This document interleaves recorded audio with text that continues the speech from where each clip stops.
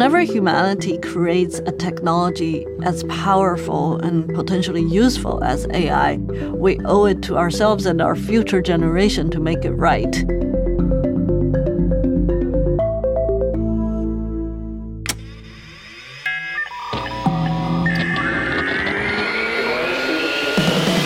Hi, everyone. Welcome to Behind the Tech. I'm your host, Kevin Scott, Chief Technology Officer for Microsoft. In this podcast, we're going to get behind the tech. We'll talk with some of the people who've made our modern tech world possible and understand what motivated them to create what they did.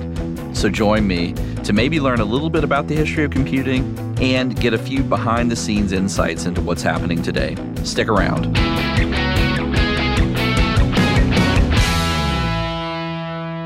Hello and welcome to Behind the Tech. I'm Christina Warren, Senior Cloud Advocate at Microsoft. And I'm Kevin Scott. And today we're continuing our conversation about AI, this time with Stanford professor and researcher Fei Fei Li. Now, if you didn't catch the last episode, be sure to check it out because Kevin has a conversation about AI with another Stanford academic and researcher, Surya Ganguli, and you guys went deep. Yeah, it's sometimes very hard to uh, contain myself. We we uh, we got super technical uh, just because it was super fascinating uh, what what we were chatting about.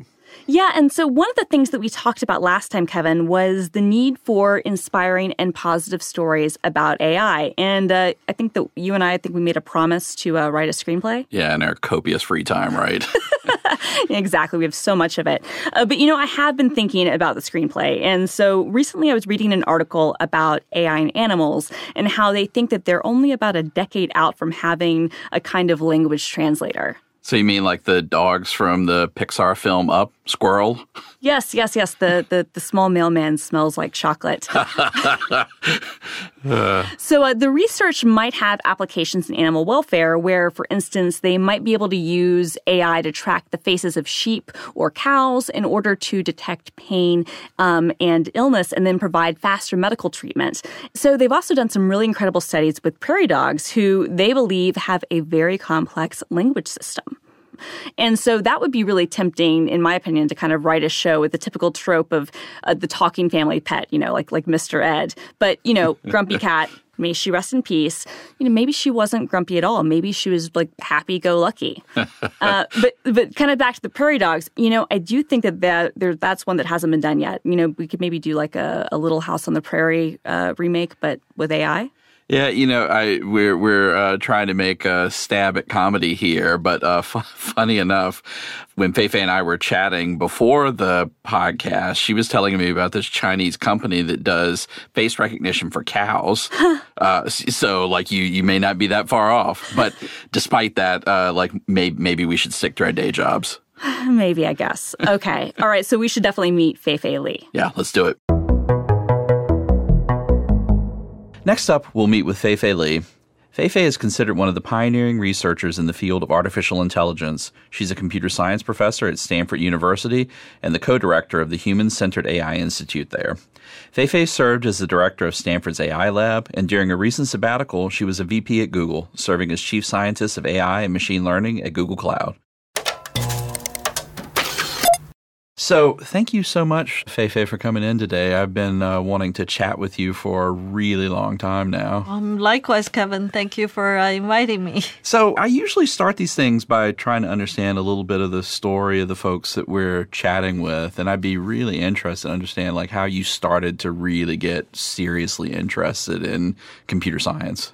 So I came to computer science through a pretty convoluted detour. So I was always kind of a STEM kid, so to mm-hmm. say. So I was interested in the in the nature, in the stars, the you know animals and all that. But my first passion, first love was physics. Awesome. So starting in junior high and then high school, I was just passionate about physics, studying relativity, you know, reading. And, and what was it about? Was it that you like it gave you a lens to understand the world? Was it that you just Yeah. liked the mathematics of it? What, what was the thing? I think it's the the combination of the imagination and the mathematical rigor, but it's really about peeling off question after question to go after the very original questions, right? Right. Like, where do I come from? Where do humans come from? What's human made of? Where do atoms come from? Where do you know where Yeah. the first atoms come from? You just very soon you go to Big Bang. So basically, you're infinitely curious. Yeah, so I was. So physics was my love, and I majored in physics at Princeton when I went to college. Awesome. And, you know, Princeton is the mecca for physics. And first day in the freshman year physics class, the professor said this is the very lecture hall that Einstein was sitting in. it was just like a dream, right? So, but the, the, the, around um, sophomore junior year in college i started reading books about these great great physicists of 20th century like schrodinger and einstein and as i read i noticed that towards the later half of their life their interest turned from the physical atomic world to the more life science world mm-hmm. they are starting to ask questions of origin of life, intelligence. And that really piqued my interest. I started to get very interested in the question about intelligence. So I joined neuroscience research. And I was literally, as a summer intern research student, literally recording from um, mammalian brain and listening to the neurons, seeing the world. Oh, so fun. Yeah, so I decided to apply for grad school, and even there, I chose to go to Caltech because I was able to find two advisors one in neuroscience one in now we call AI, but at that time we call uh, computer vision Right. to do my PhD study in, in that combination. And why vision? Yeah, good question. so, well, like I said, my first experiment in neuroscience was recording from cats' neurons and watching their neuronal activity when cats see the world, you know, see oriented edges, see complex uh, features. But really, if you think about vision, I want to tell you a story. 540 million years ago, the world is very different. It was mostly water and simple animals floating on Earth. And there were only a few species. And uh, life was chill. You know, you just hang out by floating. and then what zoologists have found or evolutionary biologists have found is this incredibly mysterious phenomena called Cambrian explosion within a short 10 million year span. In the history of Earth or in the evolution sense, it's such a narrow slice of time. The animal kingdom just exploded. Many, many animal species got created or, or evolved. And people call this the Big Bang of evolution, and no mm-hmm. one understood why. So, why from 540 million years to 530 million years ago, this Big Bang of evolution happened? So, fast forward a decade ago, a young evolutionary biologist called Andrew Parker from Australia studied a lot of fossils and conjectured and, and it became a very convincing theory that it was the onset of vision. It was Really? the first animal, some kind of floating trilobite, developed a pinhole a structure. It's very simple. It literally just collected some light. Mm-hmm. Once you see light, life changes. You become active. You see your food, mm-hmm. and you can hide and escape to become someone else's food. Hmm. So it becomes an evolutionary arms race for animal species. And with that kind of active lifestyle, so to say, because of vision, animals started to evolve much faster. And Interesting. Fast forward 540 million years later, visual intelligence is the most fascinating to me and complex sensory system of human brain. Half of our brain are involved in visual processing and understanding.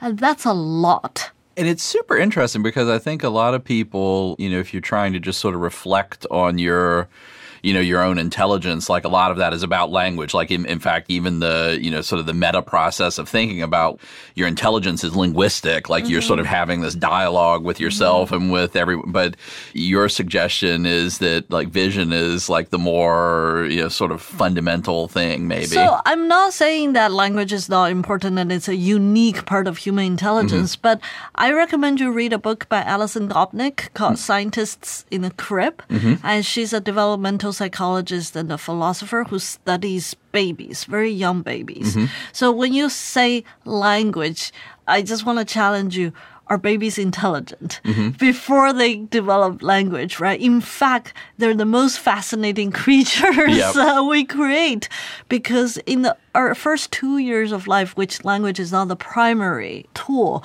they are just curious creatures exploring, understanding, and interacting with the world. They develop the theory of the other mind. They develop the sense of objects. They, they develop social intelligence. They do face recognition. They navigate. They manipulate. They crawl. They, they understand space. And this is all without language. Mm-hmm.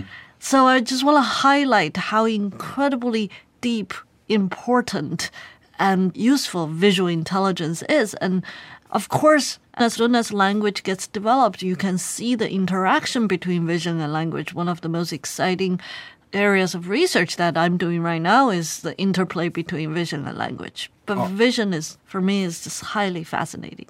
So tell us a little bit about your PhD work. So like you're in this program, you've got a, a neuroscience advisor and uh, like a basically a computer vision advisor. And so like what does your dissertation research look like? Yeah.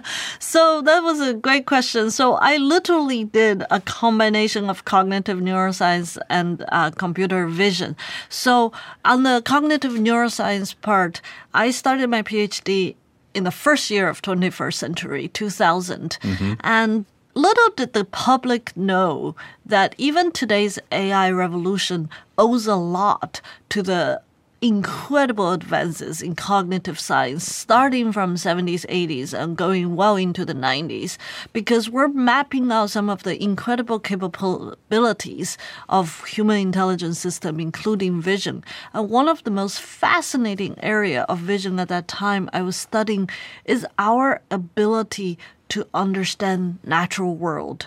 We uh, an earlier study by an English scientist living in France, Simon Thorpe, shows within 150 millisecond of seeing a complex visual scene, humans are already capable of understanding if the scene contains an animal without or it doesn't.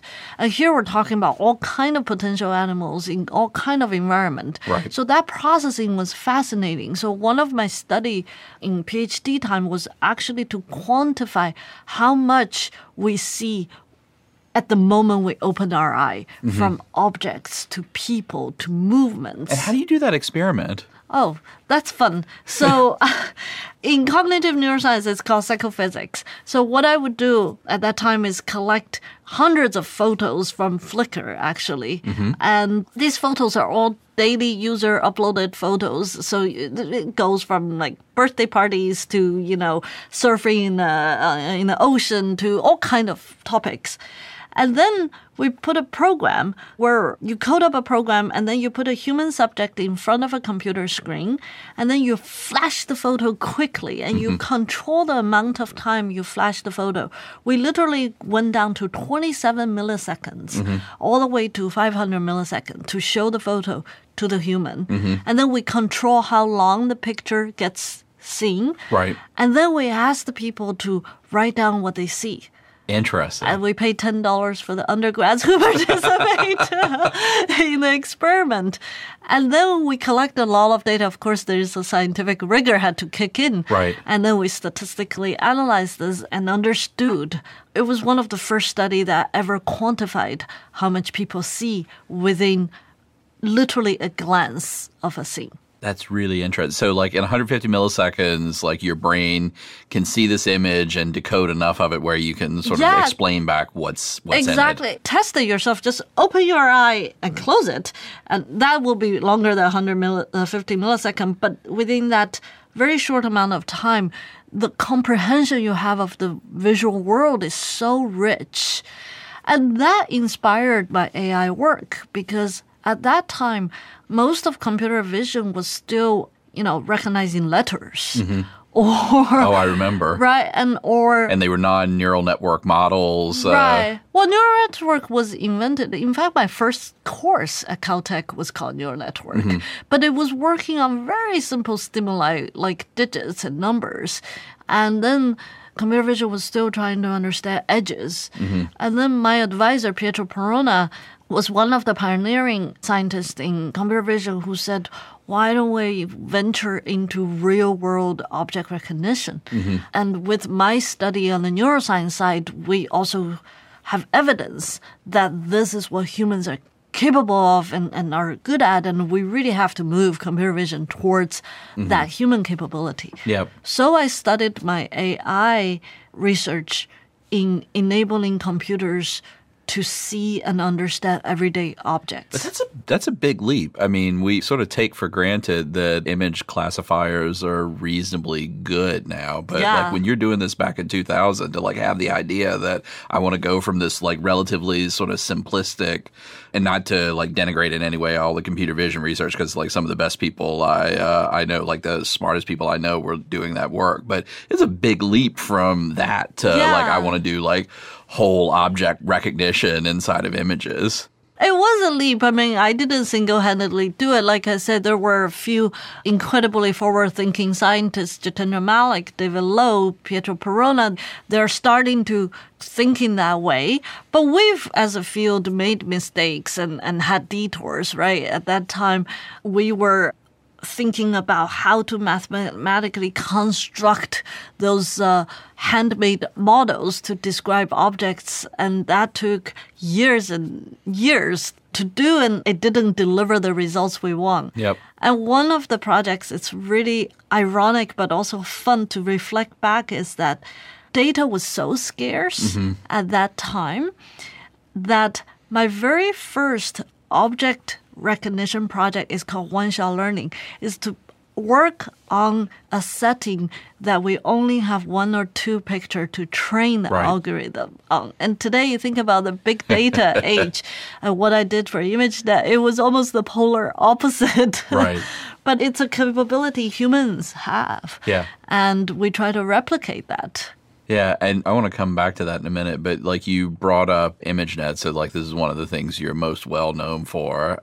And you know, as I listen to you talking about your PhD work, it sort of seems like a natural extension uh, to an extent of what you're uh, what you're doing. So, like for the audience, like why don't you describe what ImageNet is? Okay, so ImageNet was a project we started in 2007 and more or less completed in 2009. The end result is, at that time, the largest uh, database of natural object images in the world. It consisted of 15 million images organized in everyday English language uh, of 22,000 vocabularies, mm-hmm. mostly nouns. And we collected this data set for about three years by labeling, cleaning, sorting almost a billion internet pictures. And what ImageNet did is it provided one of the most critical ingredient as data for enabling neural network architecture to train. And that was the onset of the deep learning revolution. Yeah, I mean, like you sort of are being a little bit understated about it, but like it's almost impossible to imagine like how that rapid iteration loop with exploration of these DNN architectures and like the techniques that we developed to train them quickly on GPUs and whatnot, like none of that really could have happened without this big database of training data. Well, thank you. That's very nice of you for saying that. And we we designed and developed image ImageNet because we believed strongly in around 2006 2007 that we have to hit the reset button for machine learning the, the work we have been doing the past few years exploring different models didn't quite work for the scale and the scope of our real natural visual world of so many different objects and the varieties they represent. So my students and I conjectured that the way to really think about modeling objects through machine learning techniques is to think through data. And that was a pretty bold statement at that time because at that time people were constructing uh, small probabilistic models through hand design and a lightweight training of parameters. Yep. So for us to go in to say that, hold on, let's just rethink about this whole thing through a data point of view was kind of, uh, you know, um, a minority way of thinking. yeah, but uh, but it, it, you know again like just sort of absolutely necessary and like curious what you think about.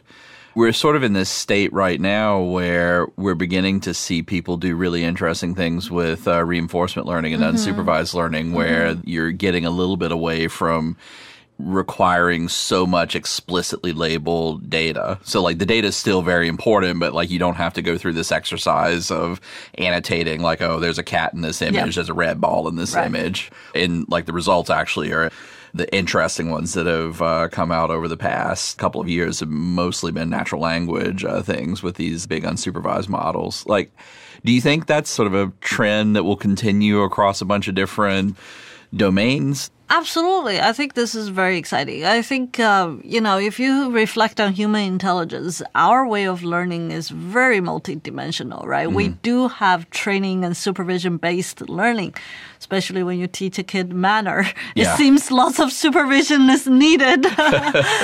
but children and grown-ups learn from trial and error, learn mm-hmm. from few shots, learn in unsupervised setting, learn with rewards yep. and punishments sometimes. Yep. So that kind of flexibility is clearly critical and evolution has built into human intelligence and for machine intelligence to become more robust to serve human world better in different settings.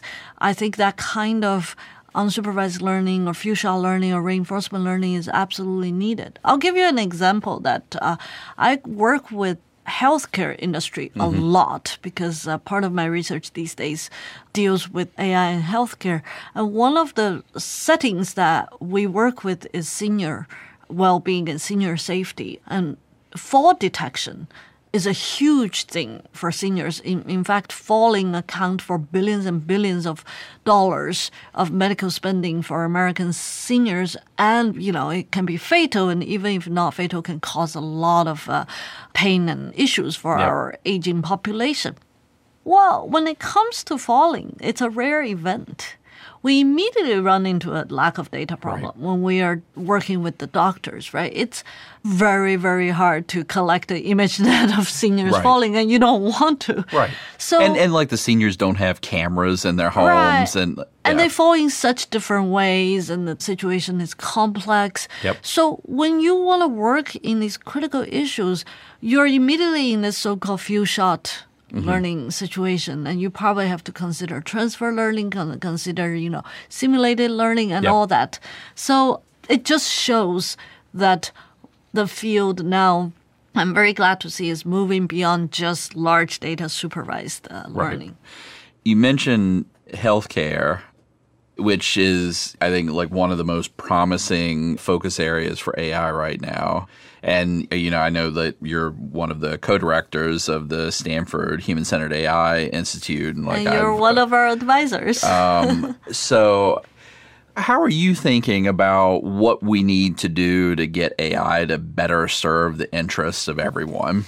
Well, Kevin, that's a big topic. Yep. And I think that's a really important topic, right? Whenever humanity creates a technology as powerful and potentially useful as AI, we owe it to ourselves and our future generation to make it right. So, first of all, I think the institute that both of us are involved in is really laying out a framework of thinking about this. And the framework is human centered, mm-hmm. is that from the get go, from the design and the basic science development of this technology, all the way to the application and impact of this technology, we want to make it human benevolent. Mm-hmm. And with this framework in mind, we have at Stanford, this institute works on three principles, founding principles to cover different aspects of human-centered AI. The first principle is actually what we've been talking about is to continue to develop AI technology, basic science technology that is humans inspired and betting on the combination of cognitive science, psychology, Yep. behavior science, neuroscience to push AI forward so that the technology we we will be using have better coherency or better capability to serve human society. Right. So that's the first principle. Second principle is I would love to hear your thoughts. You know, you and I are trained as a generation of technologists that the technology is, is solidly considered a um, engineering field Yep. or computer science field. But I think AI really has turned a chapter. AI is no longer a computer science field. Correct. AI is so interdisciplinary today. In fact, some of the most interesting fields that AI should really contribute and also welcome to join force are social sciences and humanities. Yep. And at Stanford, we're already seeing the collaboration between AI researchers with economists, Yep. with ethicists, philosophers, education experts, legal scholars, and all that. To do this, our goal is to understand what this technology is really about, understand its impact, but also forecast, anticipate the perils, anticipate the pitfalls, anticipate unintended consequences, and really with the eventual goal of guide it and recommend policies that are good for all of us. So that's the second principle, really understand, anticipate, and guide AI's human and societal impact. Yeah. The third and the last but not the least principle is something I know you and I feel passionate about is really to emphasize the word enhance instead of replace. Because AI technology is talked about as a technology to replace humans. I think we should stay vigilant about job displacement and labor market, but the real potential is using this technology to enhance and augment human capability, to improve productivity, to increase safety, and to really eventually to improve well-being Right. of humans. And that's what this technology is about. And here we're talking about healthcare. Another vertical that we put a lot of passion and resource in is education, sustainability, Yes. manufacturing and automation. These are really humanly and societally important areas Yeah. of development. Well, just sort of sticking with healthcare and like your elder care example, like this is something that I don't think a whole lot of people spend time thinking about unless they're taking care of an elderly uh, Yeah, parent yeah. or relative. Like we're not thinking about like how systemically we can make the lives of elderly people better, and like we're certainly not thinking about the big demographic shifts that are Oh about my to come. it's and so come like this globally. yeah, globally. I mean, so I mean, you and I have chatted about this before, but you know, we sort of see in almost all of the industrialized economies, but also in Japan, Korea, and China, Yeah, you have absolutely. this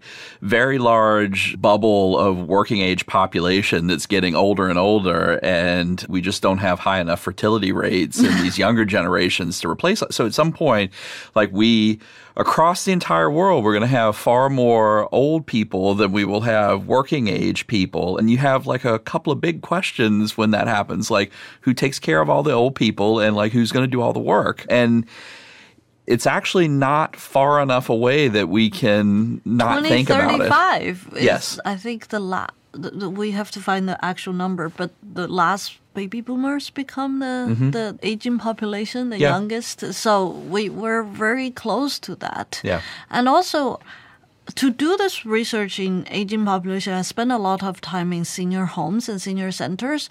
Uh, one thing I learned as a technologist is that we should really develop the kind of empathy and understanding Yes. of what we really are working on and working for. For example, I cannot tell you how many Silicon Valley startups are there to create robots as senior companions. And when some of them feel robots can replace family, nurses, Yeah. friends, I really worry. Yeah. And I really want to encourage these entrepreneurs to spend a lot of time with the seniors. One thing I learned a lot about well-being with aging population is dignity, social connection is the biggest part of aging. And so my dream technology is something that you don't notice, but it's quietly Correct. there to help, to assist, to connect people, to ensure safety, rather than this big robot, you know, Yeah. sitting in the little middle of the living room and replacing the human connectivity. Yeah. It's really funny that you're bringing all of this up. I'm writing a book right now on why I think people should be hopeful about the potential of AI, like particularly in uh, rural and middle America. And for the book, I went back to where I grew up in rural central Virginia in like this, you know, very small town. And I visited the nursing home where three of my grandparents spent the last chunk of their life.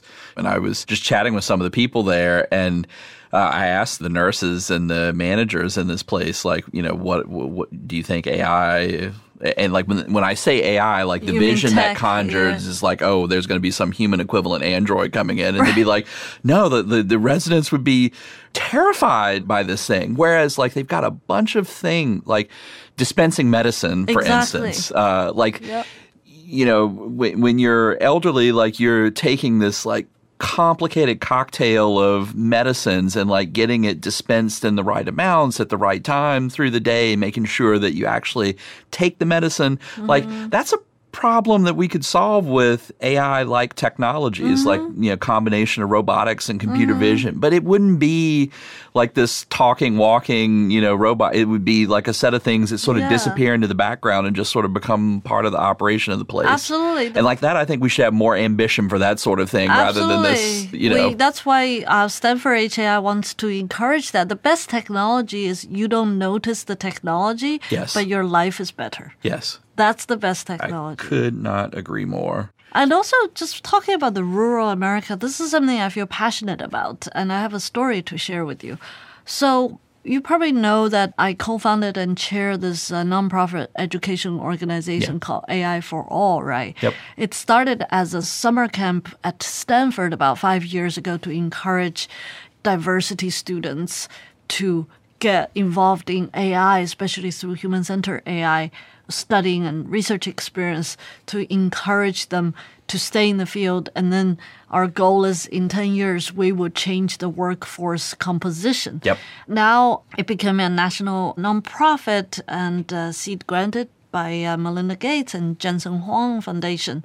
And That's uh, awesome. I now- didn't know Jensen was involved. That's great. yeah, it's a Jensen and Lori Huang Foundation. And this year we're on 11 campuses nationwide. Uh, one of the populations we put a lot of focus on, in addition to gender, race, income, is geographic diversity and mm-hmm. serving rural community. For example, our CMU campus is serving rural community in Pennsylvania. We also have Arizona campus. One story actually came out of our Stanford camp is Stephanie. Stephanie is still a high school junior now, and she grew up in the backdrop of strawberry field mm-hmm. in rural California Yep. In a trailer park with a Mexican mom, and uh, and she come from that extremely rural community, but she's such a talented student and has this knack and interest for computer science. And she came to our AI for All program at Stanford two years ago. And after learning some basics about AI, one thing she really was inspired is she realized this technology is not a cold blooded just bunch of codes. It really can help people. Yep. So she went back to her rural community and started thinking about what she can do using AI to help. And one of the things she came up with is water quality Yes. really matters to her community. And so she started to use machine learning techniques to look at water quality through water samples. Mm-hmm. And that's just such a beautiful example. I I just Yeah. love her story to show that when we democratize this technology to the communities, the diverse communities, Yeah. especially these communities that technology hasn't reached enough in, the young people, the leaders, and, and the citizens of this community will come up with such innovative and relevant Yep. ideas and solutions Yeah. to help those communities. and I, I think that getting this technology democratizes sort of a one-two punch. So like there's the technical things that you have to do. So and open source and like making sure that the research is open and freely available and being able to run these things on cloud platforms, you know, and in it like all of that's super important. It's actually amazing like Cloud how and edge. Yes, uh, cloud and edge for sure. And it's really amazing, like how much is possible now. Mm-hmm. Like I know you probably have this all the time. It's like you're sitting in 2019 and seeing what your students can do, and Yeah. you sort of compare that to what you could do in Yeah. 2000. It's like, "Ugh," you know, and you know that's because you have bright students, but it's also because like the tools that they're using are like incredibly sophisticated now.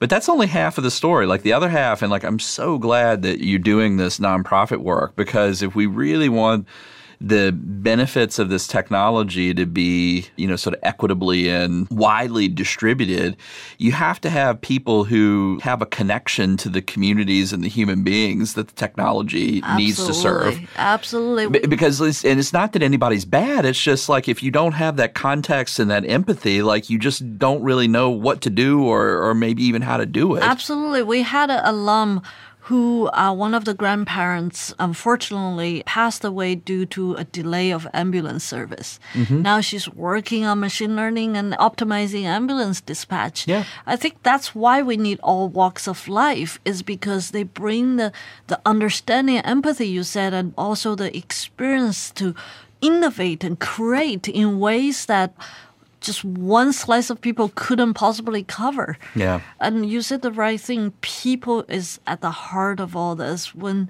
AI for All was founded, our slogan was AI will change the world. Who will change AI? Right. That is the core of this Yeah, problem. that's awesome.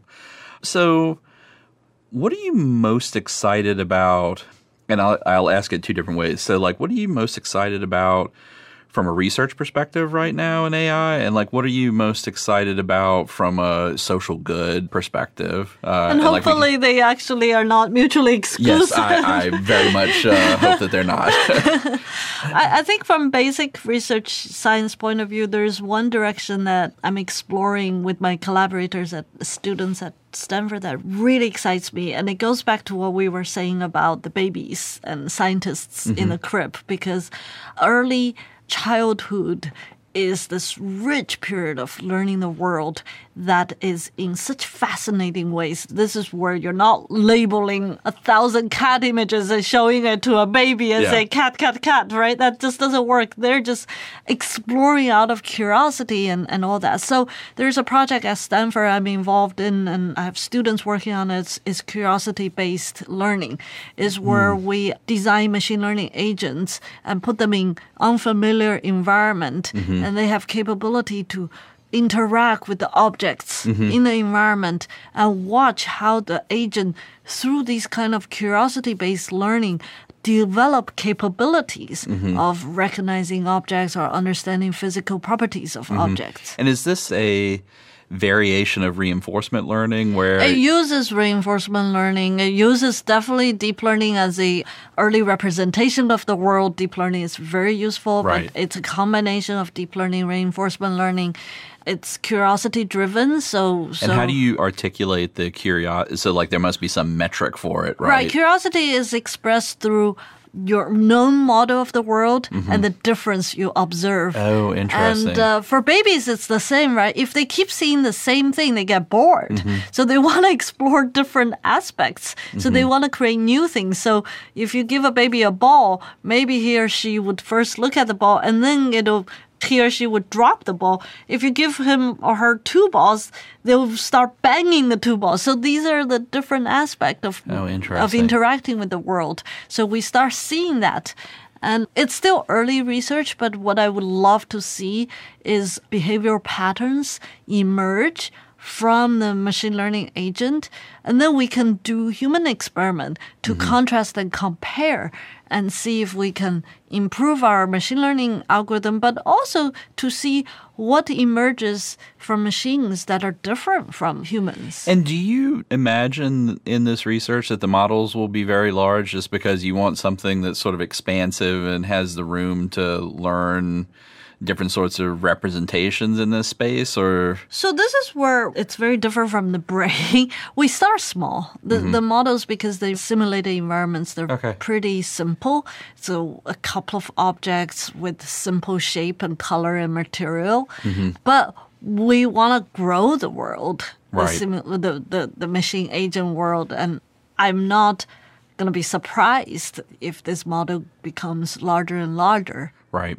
Yeah, I mean the the reason I ask is like one of the things that really has started to intrigue me over the past few years is and, and like I think this has sort of been true for like the past decade or so. The things that have been making the fastest progress in AI are things that have some sort of connection to one or more things that are growing exponentially fast. Chips. So like compute, Data. compute and data have been the, Yeah. the two big things, you know, that are driving. They're not the sole things.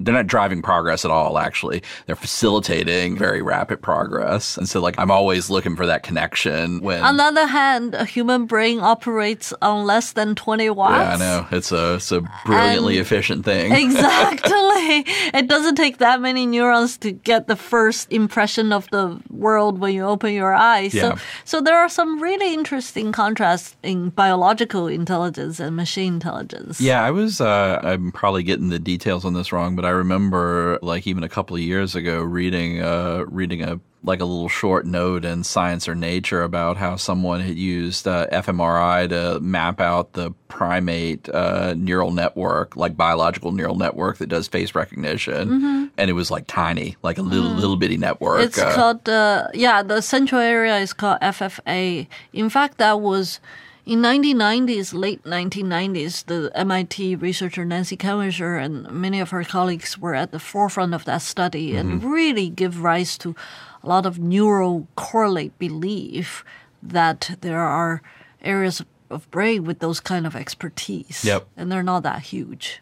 Yeah, and so before we get onto the social stuff, which I'm super interested in, like tell me a little bit more about this work that you're doing that sort of blends vision and language together, because that that seems really quite exciting. Yeah. So it actually is a continuation or a step forward from ImageNet. If you look at what ImageNet is, for every picture, we give one label of an object. Fine, that's cool. You have 50 million of them. It becomes a large data set to drive object recognition. But it's such an impoverished representation Right. of the visual world. Yes. So the next step forward is obviously to look at multiple objects and you know be able to recognize more.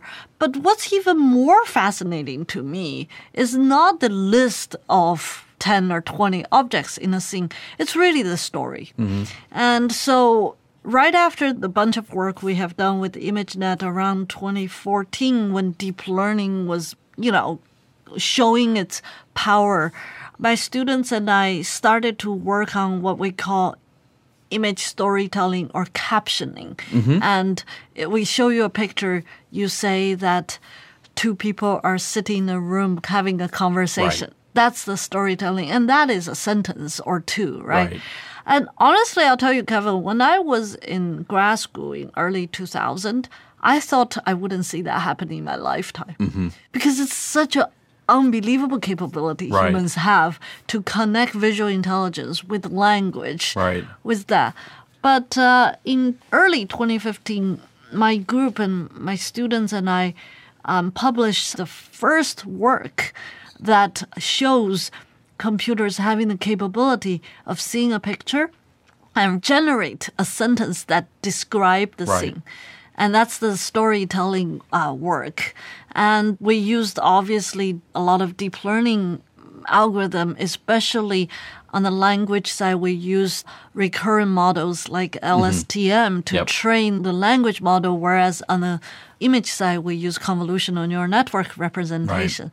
But stitching those together as seeing the effect was really quite a wowing moment. Right. I could not believe that I saw that in, in my lifetime, that capability. Yeah. I sort of wonder like whether or not these big unsupervised language models right now, these uh, transformer things uh, that people are building, the models that come out of them like have such like they they're just very large and like there's not much uh, you sort of barely have like any signal in the parameters at all. It's like just diffuse across the uh, entire model. I just wonder like whether getting like a vision model coordinated with training these things uh, is going to be the way that like they more concisely learn. Oh, I see. Well, yeah, I mean, human intelligence is very multimodal. So multimodality is definitely not only complementary, but sometimes it's more efficient. Yeah. Right. So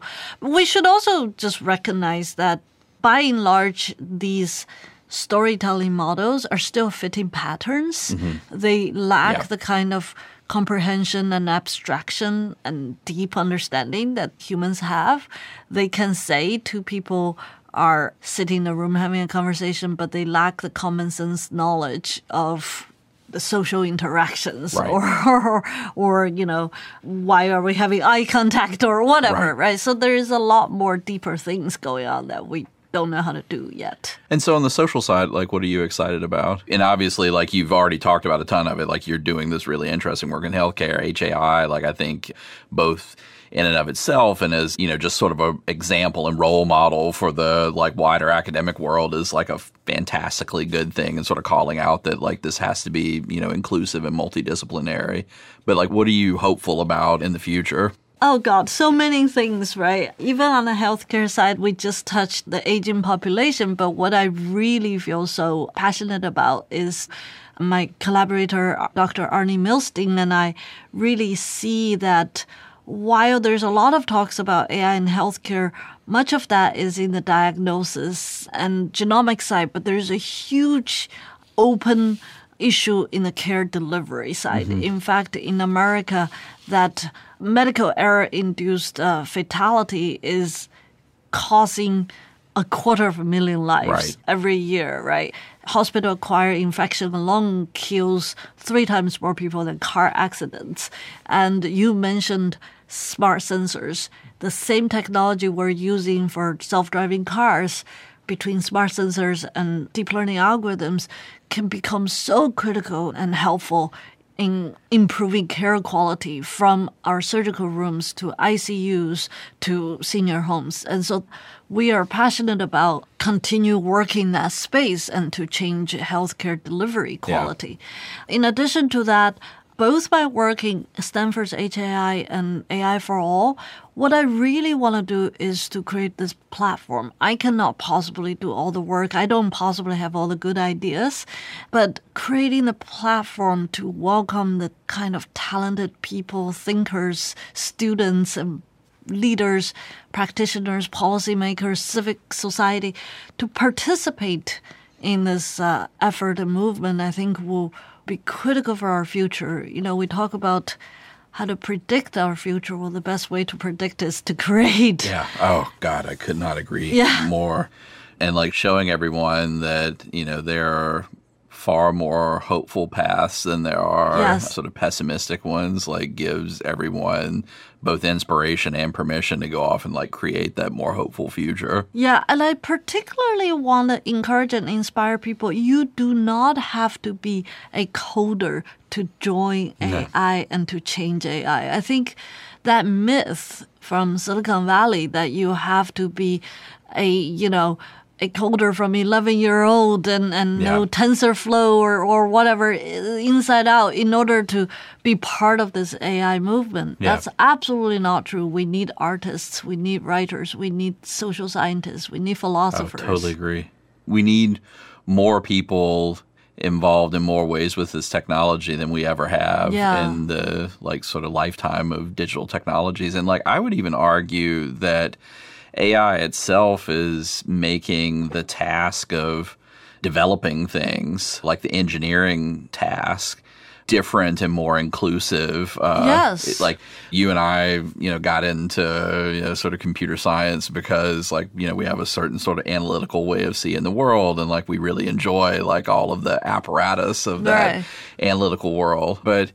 You know, there are these machine teaching systems where, like, you're going to be able to, you know, sort of rather than tell the computer what to do in these, like, minute, you know, step by step algorithmic ways, uh, you're going to be able to teach a computer how to do something. And, like, that is a really, like, much broader mode of, uh, you know, sort of building these bits of technology. I can't tell you how many artists have reached out to me and to Stanford HAI about AI helping the creative process. They're so excited. Yeah, it's super exciting. One of my, um, that you know, I hope to be able to get him on the podcast at some point. But uh, there's this fantastically talented young jazz musician named Jacob Collier who he's like a genius with harmonic theory, and he does like all of these like super interesting, innovative arrangements. And uh, like he got famous by recording these layered things that he was making on YouTube, but he like really enjoys performing these things live. And so he's been collaborating with this. Uh, with this really uh, talented engineer at MIT to build instruments where he can reproduce some of this self harmonization Oh, that's stuff. so cool. And like AI is going to do nothing but help him Right, like right, be able to like deliver these richer experiences to his audience. I mean, it's just it's it's amazing. Like I'm Yeah. this, this is stuff that makes me really uh, really super excited. so like one last question before we wrap up. So. I know your mom, and you've got a nonprofit. You're an institute director. You're a, you're a professor, Researcher. yeah, researcher. You know, like you were just telling me, you've got like this stack of uh, submissions that are going into In the 24 inform- hours. Yeah, and so like, thank you by the way for uh, doing the podcast when No you got this big deadline.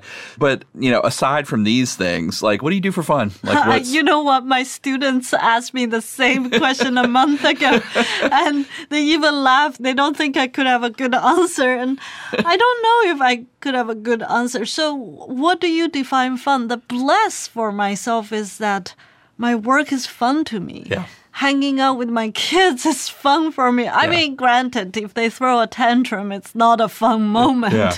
But I love being with my kids. I love my students, talking to them on research ideas. Even if we come up with a bunch of stupid ideas, that process is fun. HAI is so much fun meeting. You know, we have 200 plus faculty across the campus working on different aspects. Just talking to any one of them is fun. So from that point of view, I mean, I do miss some of the early pre-kids two people world where my husband and I would go for movies or Right, or, right. or travel to a foreign country. I haven't had that for a while. Yeah. That I I mean I travel but not for a vacation. But I love reading. I always read a lot of different books. I love food. Mm-hmm. Good food is always fun. yeah, so when I was a kid, I actually do painting. One day I'll pick that up. yeah? Well, I I think you're right. Like, What do you do for fun? Uh, I I've I pray for more time because I Podcasting is fun. this, is uh, it's really just a great thing to be able to enjoy the work that you're doing to sort of combine the things that you're most interested Yeah. in with the things that you know are somehow creating some sort of positive benefit for other people Um, like and so like that that for me is fun Right, exactly. Like in one month, Stanford is going to welcome our 2019 class of AI for all students. I'm just so looking forward to that, right? Like I'll be getting to know another Yeah. group of 32 unbelievable high schoolers. Yeah. And that's fun.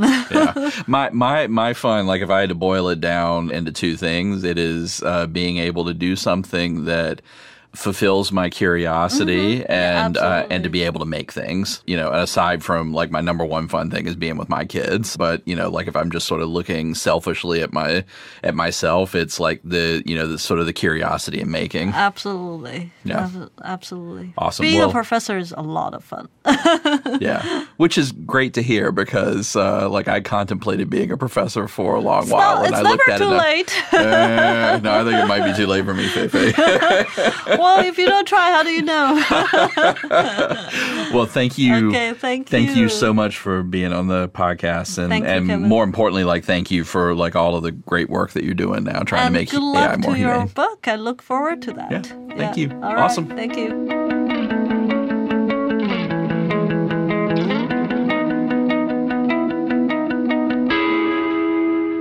We hope you enjoyed Kevin's interview with Feifei Li, researcher and professor at Stanford University.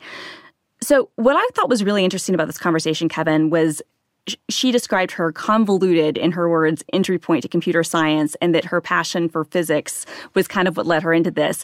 But this is something that we've kind of seen with other guests on the show, where Yeah. people have an untraditional way of getting into into these subjects. Yeah, and it, yeah, it's it's really amazing. Like a bunch of different people find their way to AI from a bunch of different paths. Although the physics one is not that uncommon. I was going to say that's the one we've kind of heard again and again. Is Yeah. that there's something to that? I guess. I've, I've I've been thinking for a bit about this idea that maybe artificial intelligence uh, for human intelligence is sort of the same thing as physics is for the natural world. So, like when you think about physics, it's the way that a curious person can approach like all of these super complicated phenomena that occur in the natural world. And so like you can describe them and like build these models of them and understand them and be able to predict them.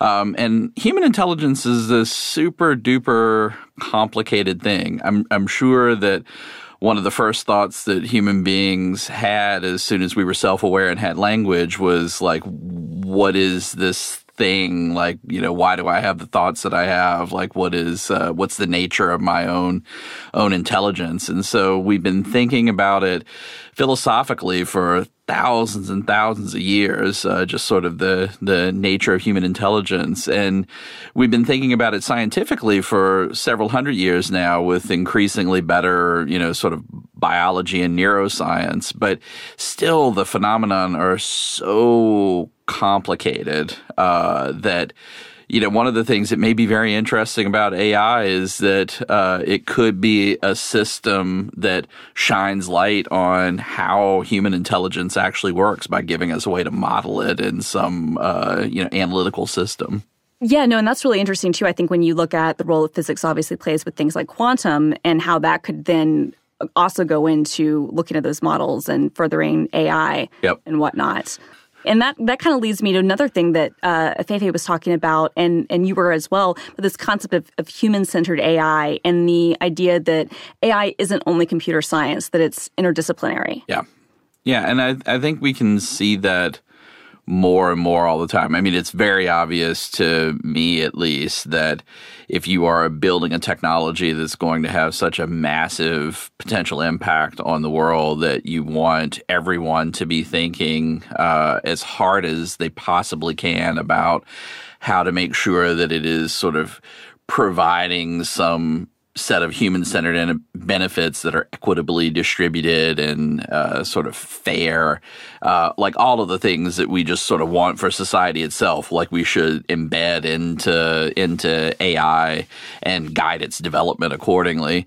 Um, and I think that's not just a, I mean, it's obviously not a computer science only thing. It has to be about philosophers and ethicists and economists and business folks and historians and writers and artists. And so, like, we really, really have to make all of this a multidisciplinary effort if we want to get a thing that is truly a reflection of our own humanity. One of the things that I really liked about your discussion is that oftentimes you and I, when we kind of have topic, when we talk about AI, it's about like the downsides or, or the potential challenges and, and, and maybe the scary aspects. And in this case, really the idea of AI, you know, augmenting or enhancing and, and, helping rather than replacing how things work uh, in, in, the world. How can we use this to make things better rather yep. than how is this a threat? Yeah, and and this is the thing that I tell people all the time. AI is just another tool that we human beings have invented to do things uh, and like we get to choose what we have the tool do and like when we make choices about, uh, say, for instance, applying AI to healthcare to make things less expensive and more accessible and higher quality for everyone, like it obviously creates this uh, amazing positive human benefit. Uh, and so, like, I think the trick to getting, you know, the balance of AI to be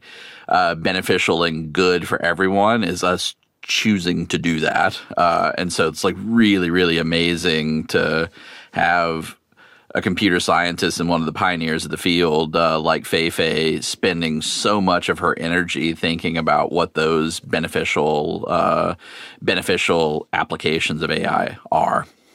No, I, I totally agree. It definitely makes me feel better, I guess, about like the future both of like humanity and um, you know the world we live in with all of this stuff. Yeah, I I, I have faith in us.